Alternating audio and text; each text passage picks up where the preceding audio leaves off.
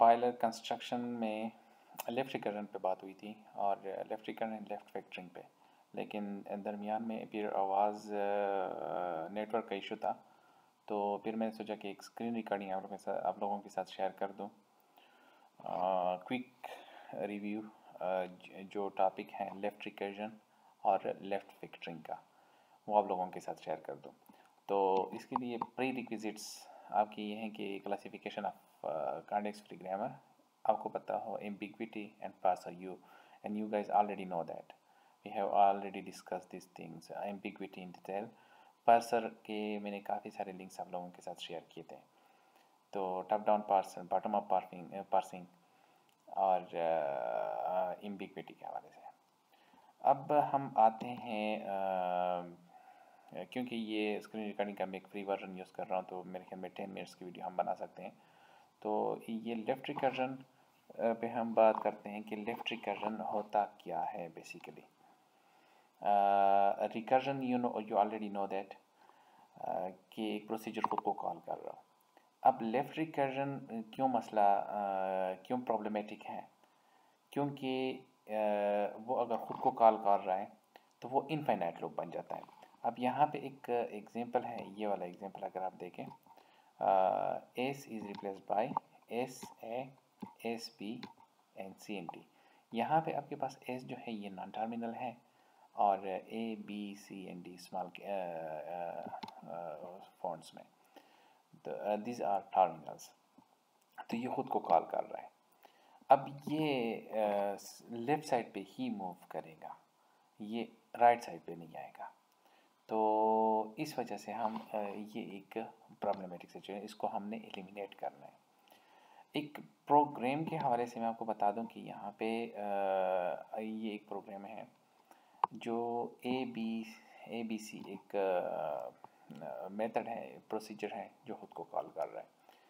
अब यहाँ पे did this program will call A B C N C out no क्योंकि वो खुद को ए बी सी ये एक खुद को कॉल करेगा। अगर ये ख़ुद को कॉल कर रहा है देन इट मीन कि वो नीचे ए बी सी पे और सी आउट पे नहीं आएगा। एक कंटिन्यूस लूप बन जाएगा। It's a left factoring left trick sorry left recursion तो लेफ़्ट रिकर्जन में ये खुद को कॉल कर रहा है। तो इसको हमने एलिमिनेट करना है। फॉर्मल डिस्क्रिप्शन ये आप लोग खुद देख लें। और इसके साथ वी हैव ऑलरेडी डिस्कस कि ये इनफाइनाइट लूप बन जाते हैं। और इस, ये जब इनफाइनाइट लूप बन जाते हैं तो फिर हमारे लिए हमारे लिए प्रॉब्लमेटिक है। अब यहाँ पे एक कुछ प्रोडक्शन रूल्स देखें कि E is replace by E plus T ये ई e आपका जो नॉन टर्मिनल है ये ई e यहाँ पे ख़ुद को कॉल कर रहा है। टी आपके पास टर्मिनल है। ठीक है? तो टर्मिनल पे ये नहीं आएगा इनफाइनाइट लूप बन जाएगा। ये ख़ुद को बार बार वो कॉल करता रहेगा। तो आपके पास जो आपका जो गोल है स्पेसिफिक गोल है, वो आप इससे अचीव नहीं कर सकते। अब इसको हम एलिमिनेट किस तरह से करेंगे? तो उसके लिए डिफरेंट ऑप्टिमाइजेशन आप अप्लाई कर सकते हैं। मतलब ऑप्टिमाइजेशन इन द सेंस के वो डिपेंड करता है कि कितने नॉन टर्मिनल आपने इसमें ऐड करने हैं। अब यहाँ पे ये एक एग्जांपल है कि ए को आप रिप्लेस करते हैं बी बी जो नॉन टर्मिनल है सॉरी टर्मिनल है, और उसके साथ एक एक्स्ट्रा एक न्यू नॉन टर्मिनल आप एड कर दें, इसको ए प्राइम आप बोल सकते हैं ए डेट बोल सकते हैं तो ये एक न्यू नॉन टर्मिनल आप उसके उसके साथ ऐड करते हैं, और फिर उसको दोबारा से आप कॉल कर लेते हो। तो मतलब ये कि एलिमिनेशन में हम ये करते हैं कि रिकर्जन तो हम फिनिश ख़त्म नहीं कर सकते क्योंकि रिकर्जन की हमें ज़रूरत है। अब वो रिकर्जन को हम फिर चेंज करते हैं इनटू राइट रिकर्जन जब राइट रिकर्जन में हम उसको कन्वर्ट करें तो वो जो प्रॉब्लमेटिक सिचुएशन आती है, उसको फिर हम एड्रेस कर लेते हैं। तो अब यहाँ पे देखें इसको हमने यहाँ पे राइट रिकर्जन में उसको चेंज कर दिया। ट्रांसफॉर्म कर दिया। लेकिन यहाँ पे अब फिर मैं ये बोलूँगा कि इट्स डिपेंड्स कि आपकी जो आपकी जो प्रोडक्शन प्रोडक्शन रूल्स हैं, उसमें आप कितने ऐड करते हैं, उसमें आप कित कम्प्लेक्सिटी कम्प्लेक्सिटी अगर ज़्यादा बढ़ती है, उसमें ज़्यादा नॉन टर्मिनल आप कहते हैं तो डेफिनेटली उसमें कम्प्लेक्सिटी बढ़ेगी। तो डिपेंड्स ऑन यू कि आप किस तरह से उसमें ऑप्टिमाइजेशन अप्लाई करते हैं और आपका जो कोड है, आपकी जो प्रोडक्शन रूल्स हैं, वो ज़्यादा ऑप्टिमाइज्ड हो। तो इसको यहाँ पे देखें। देन अगेन हम ए प्राइम को हम कॉल करते हैं और ई पी एस मतलब इप्सलॉन से और यहाँ पे राइट रिकर्जन से हम उसको कॉल कर लेते हैं। तो फाइनली हमारे पास रूल्स क्या बन जाते हैं? E is replace by T E prime और ई प्राइम को हम दोबारा से यहाँ पे कॉल कर लेते हैं। एक और एग्जांपल है।